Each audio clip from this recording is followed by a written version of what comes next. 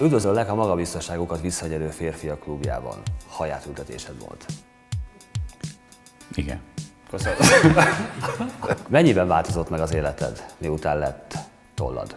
Nyilván az ember kisugárzása is megváltozik. Tehát, hogyha a külsőd sokkal impozánsabb számodra, akkor belülről egy ilyen természetesen magabiztosságot tudsz árasztani, és sokkal bátrabban és határozottabban megyek fel a színpadra. Tartósnak gondolod? Abszolút. Tehát számomra ez egy nagyon-nagyon sikeres műtét, és egy nagyon jó sikeres beavatkozás volt. Azt tudod, hogy mennyi hajszálat ültettek át? 4000 hajszálat ültettek be. Ez nem olyan sok.